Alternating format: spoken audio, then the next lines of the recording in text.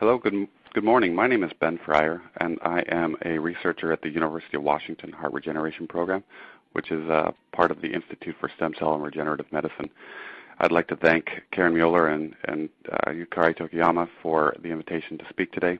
And I'll be talking today about manufacturing uh, clinical grade cell therapy from, from published research method, methods and some of the, the uh, key questions and, and um, details that I think have to be addressed when you're developing a cell therapy, for, especially from a research uh, process. So going forward, uh, the outline of what I'll talk about today is some of the work that me and my team have been working on in terms of manufacturing a preclinical grade, toxicology grade um, cell therapy material, um, and the, a little bit of the background of, of, what we thought about when we were we were beginning the process um, and looking at you know the unmet need for this and the proof of concept work. Um, this is all work that has been done um, by Chuck Murray and his lab and uh, some of his collaborators. Uh, this is uh, essentially a process that Chuck has driven for probably the last 20 years, and uh, right now the culmination of a lot of his hard work has been to develop the heart regeneration program, which I work for. Um, looking at that process and the unmet need that we, we feel is out there to, to treat heart disease, um, we thought we should plan and map the process, and that really starts with a core principle of chemistry, manufacturing, and controls, uh, CMC, and then the regulatory guidance, uh, both from the International Committee on Harmonization and the FDA. Um, for people who are in Japan or, or the Europe, there would be the EMEA and, and the Japanese regulatory uh, guidance. But uh, for us and for today, I'll be talking about the FDA. Um, I'll talk a little bit about the ideal biomanufacturing process that has been developed for uh, large-scale molecule processing and production um, for monoclonal antibodies and, and, proteins, and then applying that to our cell therapy process, and then looking really at the, at the dosing and the process scale requirements we'll need to be able to manufacture a cell therapy um, to meet our demands as our demands grow from uh, preclinical to phase one, phase two, phase three, and hopefully eventually commercial uh, manufacturing and how that would relate to GMP manufacturing, good manufacturing practice manufacturing, and uh, and then I close with a couple slides with some references on regulation and, and guidance for developing uh, an aseptic uh, cell therapy process for manufacturing. So uh, open with the obligatory uh, slide to, to show uh, why we're working on this process and, and, why we're working with cardiomyocytes and why Chuck has spent so much time and effort um, to develop this, this program. And that is because heart disease is the number one killer in the world. Um, it, it, causes one in four deaths, and about uh, just over half a million people every year have a first heart attack, and over 200,000 every year have a recurrent or second or more uh, infarct. And once you have a, a heart attack, you are likely to progress to heart failure, and that, that progression can be blocked and treated by a standard of care that's pretty good. Um, and I've listed a lot of the, the, the, treatments that are available both by drug, surgery, and, and device to, to, to slow that progression. But once you progress to heart failure, there's not a lot of options, and uh, the mortality rate is uh, pretty high. Um, within five years, many patients die of heart failure. And so once you've had, uh, once you've been diagnosed with heart failure, you're likely to need uh, an LVAD, a left ventricular assist device, which really just bridges you until you're available or, or can get a, a, heart transplant. Unfortunately, though, since 1990, so over the last 25 or more years, really the rate of, of heart transplants have not have not gone up much, which means about 1% of all the patients who are eligible to get a heart transplant actually get one, which means most patients actually die of heart failure um, while sitting on a transplant list, which means there's a really large unmet need to treat um, severe heart failure. And so looking at that, we began to develop um, a process to, to treat these. And this is Chuck's um, uh, seminal paper from uh, June of 2014 that was published in Nature, showing that human embryonic stem cell derived cardiomyocytes could, could engraft and regenerate a non-human primate heart. And on the left here in the panel, you can see that the white border zone is the area where the, the surgically induced or mechanically induced um, heart attack occurred. And the dark area is where there's no cells inside the, the, the white uh, dashed line. The green cells are the human cells that are cardiomyocytes that were injected into the infarct zone. and engrafted and aligned with the recipient. So the red is alpha-actinin, which is heart protein, um, both monkey and human, and then the green and yellow tissue is the human heart cells that engrafted with the, the, the monkey heart. And they beat synchronously with the with the, the, the, host after some recovery time, and they are fully synchronized um, and uh, conjugated to the, the recipient heart. You can see in the top right panel, and in the bottom right panel, you can see that the the non-human primate um, vascular supply is, invaded in and supplies um, nutrients and oxygen to the, the grafted tissue. So this is uh, and was a very exciting uh, data. It was a it was a I think a momentous discovery, and it showed that there was possible uh, through proof of concept to to develop and potentially uh, treat uh, myocardial infarction and, and, and heart disease with a cell therapy. But the process that was used to to get to manufacture that research process or research um, material was a, a difficult and, and, laborious process. It involved adherent expansion and differentiation, um, a lot of man hours, and a lot of uh, uh, cell culture plastic. Uh, in this case, they used T150 peel flasks, and they required about uh, 20 T150 flasks per, per dose. Uh, the differentiation window was about 16 to 20 days of differentiation after um, several weeks of expansion. And in the end, just to get the cells off and prepare them for cryopreservation and delivery to to the uh, to the to the animal subject took about 18 person hours per dose, and that's not including all the differentiation and expansion time. It was all done in a standard uh, laboratory laminar hood, a biosafety cabinet, and there were several lines that were used. Uh, the H7 and, and, the Rockefeller University ES line 2, RUES2, um, that both had transgene insertions of a, of a, a calcium-driven GFP reporter, GCaMP3. Um, it was delivered in the AAVS1 locus. So as we look at this and we begin to think how could we take this process and convert it into a clinical grade, we, we start with really guidance um, that would be standard to any sort of biological process that you're manufacturing for, for clinical use or intended uh, testing in human beings. And that starts with chemistry, manufacturing, and controls, also known as CMC. And CMC is responsible for manufacturing bulk drug substance and the final drug product. Um, in this case, the bulk drug, drug substance would be the cells, um, but before they are prepared for cryopreservation and thawing, the final drug product would actually be the cryopreserved, thawed, um, washed, and, and loaded um, product that would be delivered to a patient. Uh, as part of this, you need to make sure that you understand how your cells are made and what they will be like, what they will look like as um, they're ready for uh, either preparation for final drug product or preparation for delivery to a patient. And that involves setting your product specifications and release criteria so that you know what you can accept, what you can't accept, and how consistent your manufacturing process is. And that involves um, understanding it. Uh, the other thing that comes up is these are cells that will be cryopreserved, like most cell therapies. The ideal cell, cell therapy is, is cryopreserved, and that means that you need to understand your product stability, and you have to have analytical methods that are qualified, validated, and robust that can detect any differences in a lot-to-lot uh, process. And as all of this work then goes into a CMC section that's submitted to uh, any sort of regulatory agency, whether in the U.S. or, or international. And as part of all this, there, there can, of course, be sometimes failures in the process, and CMC involves understanding that and correcting those so that they don't happen again. And as part of the CMC, you expect as you go from preclinical, phase one, on to phase three, and finally commercial, that you will have um, a, a, more complex process. And so that means that you have to be able to understand how to uh, change your manufacturing as you grow with the process.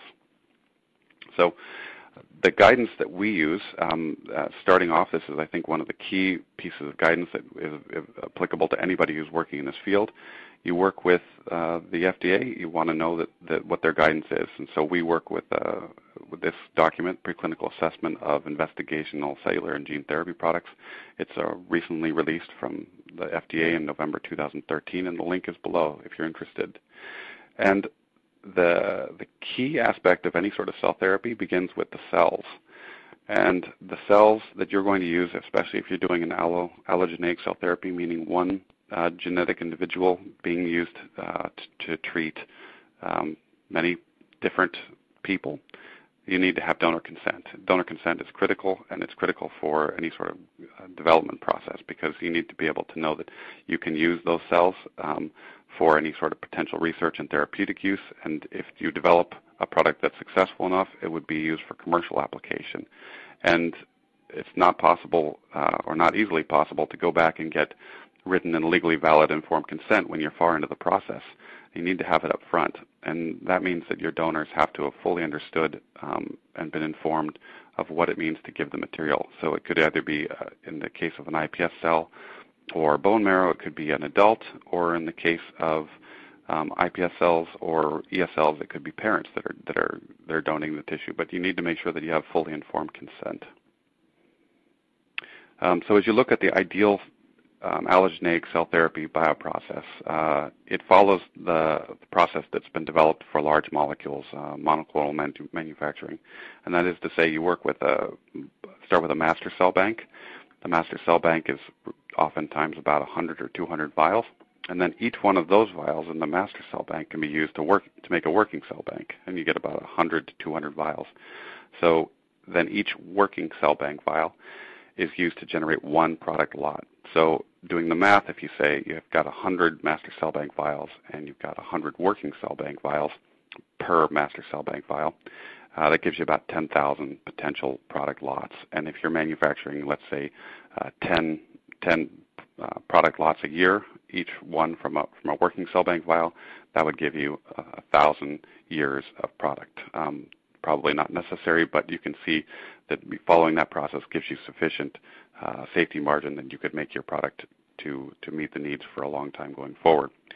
Each working cell bank vial is then used to generate uh, the product lot that starts with seed material. Seed material is the expansion part, and then that um, once you finish with the expansion, you can do uh, the differentiation, in our case, making cardiomyocytes. Those would be the product cells. Uh, the product cells then have to be enzymatically dissociated, um, washed, cryopreserved, and then uh, that gives you finally, hopefully, a well-characterized product that can be used to develop potency assays for your phase three and commercial product. Um, ideally, all of this uh, work can be done with off-the-shelf single-use technologies. Uh, in the past, a lot of a lot of biomanufacturing was done with uh, stainless steel reactors or glass reactors but people are moving to, to, to plastic bag systems or uh, stackable systems. Um, and those systems um, are all termed uh, ancillary materials. Ancillary materials covers a, a, wide range of products, but that would be anything that touches the cell but doesn't actually go into the patient directly. So any sort of cryovials, uh, the media itself, any growth factors or small molecules, which falls into the field of morphogens um, that you would add, uh, insulin, et cetera um, the culture itself, any tubes, bags, um, all those things are ancillary materials, and you want to make sure that that is a, a high quality cell therapy grade or GMP, if possible, material. And this process um, that you develop, ideally you want it to be something that can be scaled so that you can meet your, your commercial or phase three needs. Uh, the FDA uh, requests that, that your phase three process be the one that you lock for any sort of commercial manufacturing. So any changes you need to make to the process, you want to be able to make them before you get to phase three. And the I think uh, the other thing that you want to make sure you've, you've, got in this process is that it's something that can be closed, meaning you don't work over open containers, that you use tubing sets, things can be pumped from, from vessel to vessel. And ideally, uh, a, a, common failure point in any sort of development of a, of a cell therapy is the tech transfer or technical transfer to a GMP uh, good manufacturing process plant. And um, so you want to make it as, as simple as possible because the more simple, the more likely it'll succeed on the transfer. So as we began to look at preparing for our IND and clinical testing, we thought, well, what about the process, uh, the method that we're using to make these cardiomyocytes and expand the ESCs?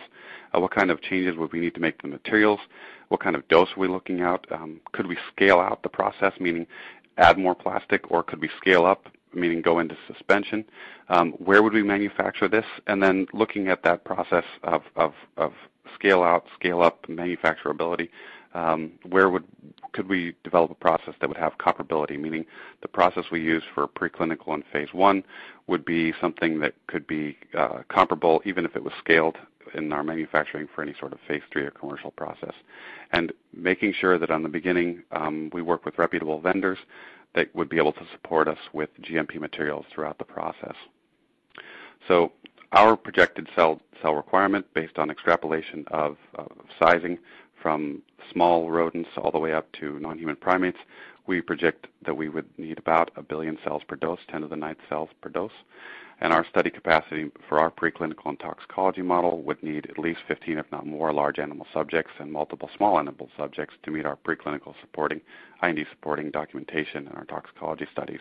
So if we do the math, um, given the older adherent culture model, um, where they needed, uh, by, by, by just math, about 2,000 square centimeters, but practically about 3,000 square centimeters or 20 times T1, 20 T150 flasks uh, per dose, that's really not extrapolatable if you need to get just even through a phase one trial where you'd need over 100,000 uh, square centimeters of culture surface.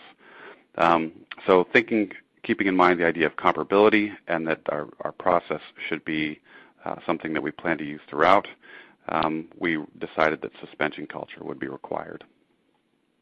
So looking at that and kind of like thinking about the critical constraints of any sort of ancillary materials that you're, you're working with, you want to convert to clinical grade uh, materials as early as possible. Uh, reduce anything that isn't required, refine the process so that you get as clean and um, and good of, of, of, ancillary materials as possible, and replace anything that's not not ready for prime time um, manufacturing.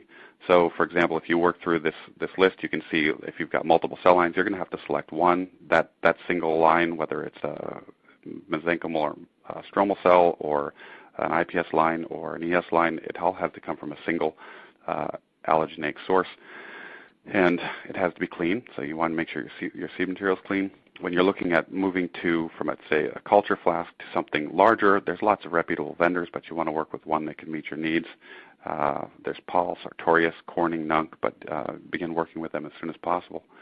When you look at the media needs, um, the process initially used conditioned media. Um, that is, cells uh, converting the media to a functional format and then applying that to another set of cells. But in this case, you want to make sure that you, you, you get away from that because that's too complicated. Uh, ideally, using something like a defined commercially available media from a large reputable vendor. And I've got a few listed here.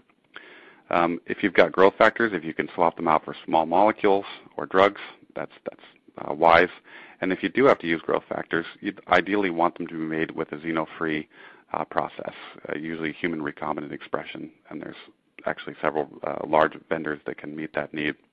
If you've got complex supplements, um, it's wise to reduce the, the, the, try and identify what are the critical components in that, that, that supplement that you need because all the complexity of that supplement can come back and bite you at the end of the process when uh, there's potentially any sort of supply chain disruption for that, that supplement. And so if the supplement has, say, 22 components in it and one of those components has a problem, you end up without having any of your, your, your supplements. So if you can find out how to get rid of uh, any sort of complex supplements, it's wise. And then in terms of your just your process, you want to make sure that you make it as simple as possible. Uh, reduce any sort of manipulations that are extraneous so that you don't have as much uh, human um, manpower time associated with it, and make sure it's it's standard. So uh, any sort of harvest windows, you want to try and make it as, as small as possible. Um, in our case, when we started to think about where we were going to manufacture our product, we uh, are lucky because here at the University of Washington and here in Seattle, we have the Institute for Translational Health Sciences. They have several GMP uh, facilities, and the one we're working with is the Gene and Cell Therapy Lab at the University of Washington. Uh, they work, uh, the, this facility is, is in the actual University of Washington Medical Center in the hospital, and it's 2,200 square feet, has four independent ISO 7 suites with uh, uh ISO 5 biosafety cabinets in them. And the, one of the things that's nice about this is they have person in plant GMP capability. So in this picture, you can see a couple people in hoods. Those are actually uh, heart regeneration program employees who are, are are person in plant operators who can actually operate in the facility have been trained by um, the gene and cell therapy lab personnel to, to, to gown and to follow GMP and to actually take the process in and work in their facility.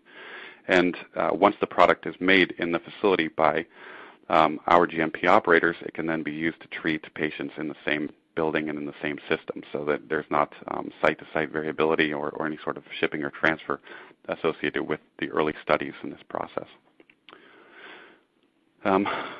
When you're going into GMP manufacturing, there's a few really uh, interesting things that come up, and one of them is that you need to have uh, good PPE and uh, gowning. Um, this is uh, both to protect the product and also protect the operator, and so that you can kind of understand exactly if there's any sort of contamination, which there shouldn't be, but if there is, where it's coming from. Oftentimes, um, in, in facilities uh, when it's a rainy season or winter or spring, anytime when the, the weather is, is un, unsettled, spores can get in, um, as anybody who's done cell culture knows. Um, and this is the kind of uh, protective um, gear that can keep that from happening. Um, when you're working in the facility, it's something that's slight, slightly different than, than working in a normal uh, biosafety cabinet is that you have actually in-process monitoring, both um, for any sort of viable particles, which would be you can use settling plates and agar plates to detect that, and also any sort of uh, uh, particle counts to determine just what the, the, the, total, whether they're viable or non-viable particles are, are, are in the atmosphere. And you can keep you can keep those low in a in a GMP facility, and reduce any sort of risk of contamination of your product. And then finally, I think one of the key things that as you move into GMP, especially as you're looking at your raw materials, is you begin to understand your manufacturing and supply chain a lot better. Um, and that comes from uh, having to meet material specifications, uh, following any sort of uh, manufacturing changes that your, your manufacturer or your suppliers are, are, are making, and uh, following any sort of expiration dates that are set by the manufacturer. Oftentimes, in a research lab, you'll have a process and it works great, and and then a couple weeks later it doesn't work so well, or it works well with one operator, it doesn't work well with another operator, um, and you never know exactly why. Uh, the the interesting thing about moving to GMP is you begin to understand uh, that a lot of these kind of variability that you see in the process is often due to um, expired materials. Um, the media expires. The growth factors are taken out of a freezer and left in a fridge for a couple weeks, and they degrade in, in aqueous solution sitting at four degrees.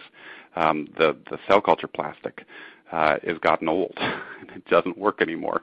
Um, these are things that happen in, in, in the research process, but you try to, to get rid of those uh, variables in your GMP manufacturing process. Um, so after all that, what we're looking at in terms of our planned process for manufacturing cardiomyocytes for, for preclinical and, and human studies is to follow that, that classical biomanufacturing modular process that I described earlier in the talk. And that is you start with a, a master cell bank vial. Um, you generate a working cell bank. You take that working cell bank vial and you expand it to make one lot of product. And starts with a what we call a seed train, but that is uh, expanding up the cells. And then your product is then made from that expanded cell. And the differentiation occurs in suspension. Uh, we make clusters of cardiomyocytes, and those clusters then have to be enzymatically treated to pull them apart and make a single cell suspension, which can then be washed, cryopreserved, and stored until it's needed for uh, delivery to a patient. At that point, the vial can be thawed. Um, the product the cells can then be washed and loaded into a delivery device and uh, loaded into a catheter for delivery to the, the patient. So these are the clusters. Um, you can see the clusters here are about uh, a couple hundred microns in diameter, and each cluster contains about a thousand cells. And the interesting thing about working with cardiomyocytes is about eight or nine days into the process, most of the clusters begin to beat. And so it's a, kind of a, an interesting thing to watch uh, something living actually begin moving um, that um, is going to be used to treat a patient. So uh, it's one of my favorite parts of this job.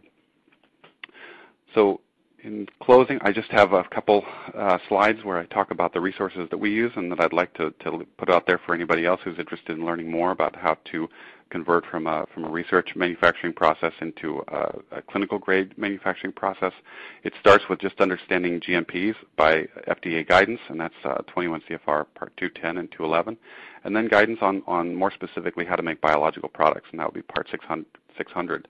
There's also lots of good ICH guidance, um, both Q5, uh, 6, and 7 um, for making pharmaceutical ingredients, and then there's FDA guidance for making aseptic processes, um, cell and tissue therapies, and then finally FDA guidance on, on CMC for any sort of somatic cell therapy. And uh, on the next page, I, I just laid out a few of the USP chapters that are available for anybody interested in understanding um, how to evaluate risk and qualify materials that they plan to use um, in their cell or um, gene therapy manufacturing process. Um, specifically, if you plan to use any sort of cytokine or bovine serum, FBS, um, these are very uh, useful chapters, 1024 for, for, for bovine serum, and then FBS quality attributes, which is chapter 90. And then if you're going to use any sort of cytokines or growth factors, chapter 92 is relevant. So uh, in closing, I've told you a little bit about the Chuck Murray's um, heart regeneration program here at the University of Washington that uh, is now working hard to develop a cell therapy to treat heart disease. And the process that I've been working on um, as part of Chuck's program to convert from the research process to a clinical grade process and how we're uh, trying to make sure that we convert everything to GMP cell therapy grade to develop a product for treatment of, of heart disease, um, starting first with uh, toxicology studies to get approval, and then once hopefully we have approval to begin clinical studies.